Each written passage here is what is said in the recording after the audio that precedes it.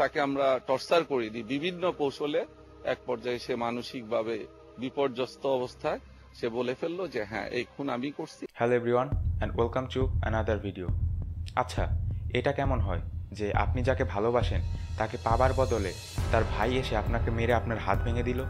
অথবা এটা কেমন হয়? আপনি যাকে বিয়ে করেছেন, বাসুর ঘরে ঢুকে দেখলেন তার একটি চোখ নেই। তখন কি করবেন? সুইসাইড করবেন? নাকি সিরিয়াল কিলার হয়ে যাবেন। সো, আজকে আমি যে মানুষটা নিয়ে কথা বলব, সেই মানুষটার সাথেও প্রত্যেকটা জিনিস ঘটে গিয়েছে। আর সে সুইসাইড না করে সে সিদ্ধান্ত নেয়, সে সিরিয়াল কিলার হয়ে যাবে। সো, চলুন শুরু করা যাক।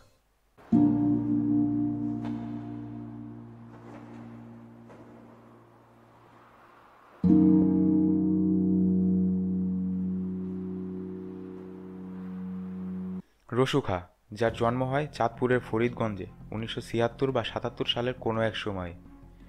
তার বাবা আবুল হোসেন ছিলেন একজন ক্ষেতমজুর বা যারা মাঠে কাজ করে সেই প্রকৃতির লোক। সো স্বাভাবিকভাবে বোঝা যাচ্ছে তাদের ফ্যামিলি স্ট্যাটাস বা অর্থনৈতিক অবস্থার দিক থেকে খুব একটা ভালো ছিল না। আর এরই মধ্যে হুট করে একদিন এই আবুল হোসেন বা রশিদ খার বাবা মারা যান। আর তখনকার সময়ে তাদের অর্থনৈতিক অবস্থা হিসেবে যা ছিল তা মাত্র তার বাবার রেখে যাওয়া তিরিশ থেকে পঁয়ত্রিশ শতাংশ জমি। আর তার বাবা মারা যাওয়ার পরে তার বাড়ির পাশের লোকজনের সাথে এই জমি নিয়েও ঝামেলা শুরু হয়ে যায়। কিন্তু এই জমি নিয়ে যখন রশিদ খান তাদের প্রতিবেশীদের সাথে কথা বলতে যেত, তখন তারা রশিদ খানকে বা এই রাসু খাকে চোর চুরটা এই টাইপের নানা কথা বলে তাকে রাগান্বিত করত। আর এটারও কারণ আছে। তখন অভাবের মাধ্যমে বা অভাবের কারণে রশিদ খান ছোটোখাটো অনেক চুরির সাথে যুক্ত হয়ে যায়। সো তখন সেই বিষয় নিয়ে প্রতিবাদও করতে পারেন না। আর এই অভাবের মধ্যেই এই রসু খা একটা মেয়ের সাথে রিলেশনে বা প্রেমে জড়িয়ে পড়ে।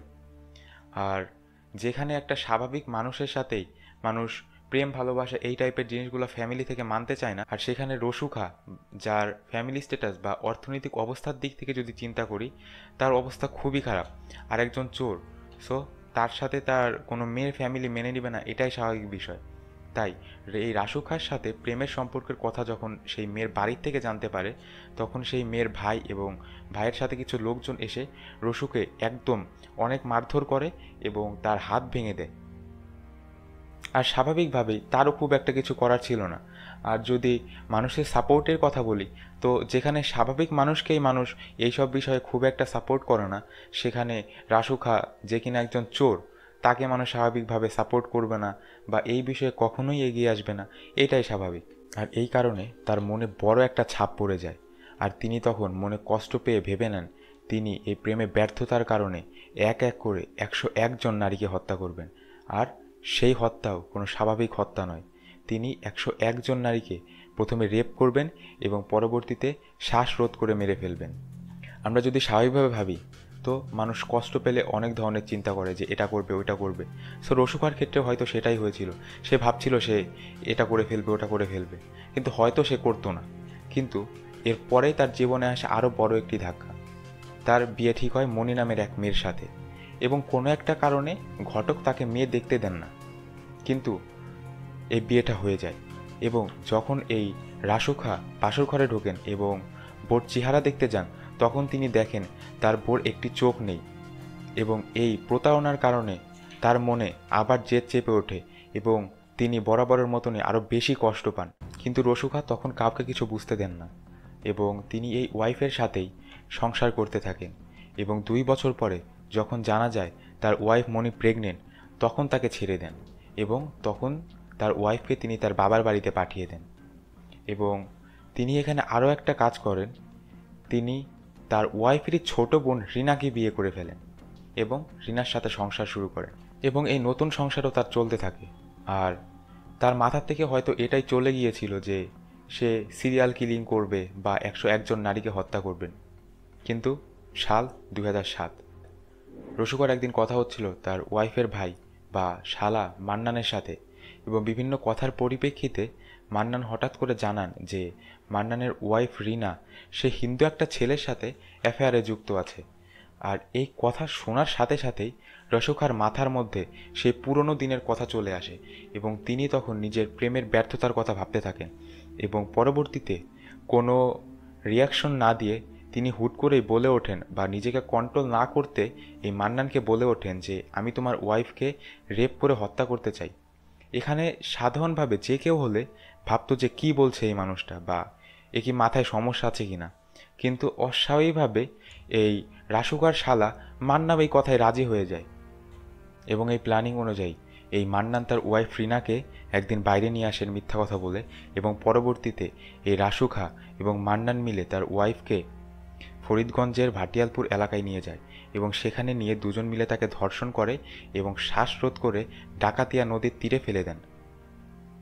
আর শুরু হয় রাসুখার সিরিয়াল কিলিং লাইফ। আর যেহেতু প্রেমে ব্যর্থ হয়ে এই ধরনের কাজ করবে বলে রাসুখা ভেবেছে, তাই এরপর থেকে রাসুখার প্রথম পদক্ষেপ ছিল, সে যাকেই মারবে তাকে প্রথমে প্রেমের জালে ফেলবে বা সে প্রথমে তার সাথে রিলেশন করবে এবং পরবর্তীতে তাকে মার্ডার করবে। আর যেহেতু রাসুখার দ্বিতীয় স্ত্রী গার্মেন্টস কর্মী ছিল, তাই সেই সূত্রে তার বিভিন্ন গার্মেন্টস কর্মীদের সাথেও যোগাযোগ ছিল। আর এই গার্মেন্টস কর্মীদের যোগাযোগ হওয়ার পরেই তার মাথায় আর একটা প্ল্যান চলে আসে। সে ভাবে যে এর পরবর্তী থেকে সে যতগুলো খুন করবে, সে এই গার্মেন্টস কর্মীদেরই করবে। আর এখানে প্রশ্ন আসতে পারে যে, সে গার্মেন্টস কর্মীদের কেন খুন করবে? ওয়েল, তো এটার পিছনে দুইটা কারণ থাকতে পারে।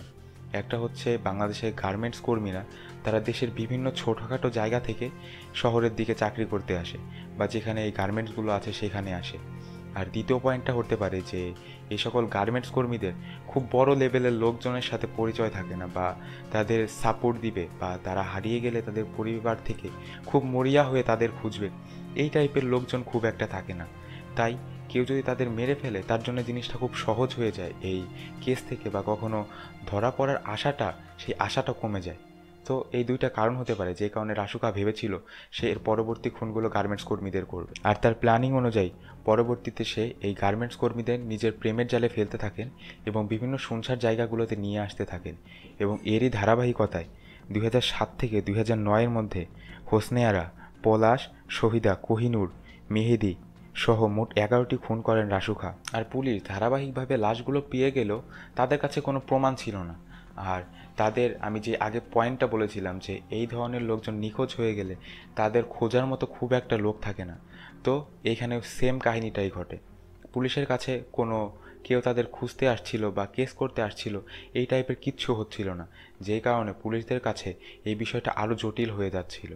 কিন্তু আমরা যদি ইতিহাসের দিকে তাকাই কিংবা মুভির দিকে তাকাই, সেখানে আমরা দেখতে পাবো প্রতিটা সিরিয়াল কিলারই তাদের নিজস্ব কিছু স্টাইল রেখে যায় বা তাদের মারার মধ্যে একটা অন্য ধরনের স্টাইল থাকে যেটা দেখলে বোঝা যায় বা কয়েকটা খুন যদি আমরা দেখতে পাই, তো আমরা বুঝতে পারব যে প্রতিটা খুনই হয়তো একজনের বা একটা টিমেরই করা। সো পুলিশের কাছে এই এগারোটা লাশের মধ্যে দুইটা বিষয় কমন ছিল। একটা হচ্ছে তাদের প্রতিটা খুনই একই স্টাইলে করা। প্রথমে রেপ করা আর সেকেন্ডে হচ্ছে তাদের গায়ের বিভিন্ন অংশে সিগারেট দিয়ে জ্বালিয়ে তারপরে শ্বাসরোধ করে হত্যা করা। আর সেকেন্ড, তাদের প্রতিটা মানুষেরই বয়স ছিল সতেরো থেকে পঁয়ত্রিশ বছরের মধ্যে। আর এর মাধ্যমে পুলিশ হয়তো বুঝতে পারছিল যে এই খুনগুলো একজন মানুষই বা একজন মানুষেরই কোনো টিম দ্বারা করা হচ্ছে। আর এরই ধারাবাহিকতায় দুই হাজার নয় সালের বিশে জুলাই পুলিশ চাঁদপুরের ফরিদগঞ্জ থানায় পারভিন নামের আরও একটা মেয়ের লাশ পায়। কিন্তু প্রমাণ হিসেবে এই মেয়েটির গায়েও ছিল শুধু এই সিরিয়াল কিলারের মার্ডার স্টাইল। কিন্তু হঠাৎ এই মার্ডারের পরের দিনই পুলিশের কাছে একটা রিক্সাওয়ালার কল আসে এবং তিনি দুইজন ব্যক্তির নাম উল্লেখ করে জানান যে এই দুই ব্যক্তি এই মেয়েটিকে হত্যা করেছে এবং এই মেয়েটি হত্যার পূর্বে তার রিক্সাতে করেই ওই দুই ব্যক্তির কাছে গিয়েছিল এবং এই কলের পরিপ্রেক্ষিতে পুলিশ সেই দুই ব্যক্তিকে জেলে নিয়ে আসে এবং তাদের কাছ থেকে বিভিন্ন যাচাই বাছাইয়ের মাধ্যমে জানা যায়, তারা আসলে এই খুনের সাথে যুক্ত নন। এবং পুলিশ যেই আশার আলোটা দেখছিল, সেই আশার আলোটাও কিছুটা কমে যায় এবং তখন পুলিশ সন্দেহ করতে থাকে যে কল করেছিল সেই ব্যক্তির উপরে। কিন্তু পরবর্তীতে যখন ওই নাম্বারে কল করা হয়, তখন ওই নাম্বারটা বন্ধ পাওয়া যায় এবং পুলিশের মনে যে আশার আলোটা দেখা দিচ্ছিল, সেটা আবার নিতে শুরু করে। হুট করে কয়েক মাস পরে দেখা যায় যে এই সিম নাম্বারটা আবার ওপেন হয়েছে।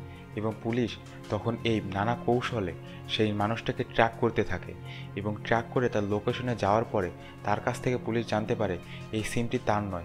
তিনি তাজু নামের এক ব্যক্তির কাছ থেকে এই সিমটি কিনেছেন এবং তার দেওয়া তথ্যের ভিত্তিতে যখন তাজুকে আটক করা হয়, তখন তাজু জানান এই সিমটি তারও নয়। তিনি জানান, দুই আগস্ট রসুখা এবং মিজান নামের দুই ব্যক্তি তাদের মসজিদে ফ্যান চুরি করতে গিয়ে আটক হয়। এবং তখন রসুর কাছ থেকে তিনি একটি সিম কার্ড ও একটি মোবাইল ফোন কেড়ে রাখেন এবং পরবর্তীতে সেই সিম কার্ডটি তিনি একশো টাকায় বিক্রি করে দেন এবং এত কিছুর পর যেন পুলিশ দুই দুই চার মিলাতে পারছিল এবং তখন তারা বুঝতে পারে ফোনটি আর কেউ না, স্বয়ং সিরিয়াল কিলার রাসু খাই করেছিল। এবং এরপরে রাসু খা নিজেকে বেশি দিন লুকিয়ে রাখতে পারেনি এবং এই তথ্যের ভিত্তিতে টঙ্গীর মিরাজপাড়া থেকে সাতই অক্টোবর পুলিশ রাসুকে আটক করে। কিন্তু প্রথম দিকে রাসু খা পাগলের অভিনয় করতে থাকে এবং পুলিশকে গালাগালি করতে থাকে। কিন্তু পরবর্তীতে যখন তাকে ক্রস ফায়ারের হুমকি দেওয়া হয়, তখন তিনি পারভিন সহ আরও দশ নারীকে হত্যার কথা জানান এবং বলেন, পারভিন হত্যায় তার সাথে তার ভাগ্নেও জড়িত ছিল এবং পুলিশকে তিনি বলেন, তার গোল ছিল একশো একজন নারীকে হত্যা করে তিনি সুফি হয়ে যাবেন, ধর্মের পথে ফিরবেন। কিন্তু বাংলায় একটি কথা আছে, পাপ বাপকেও ছাড়ে না।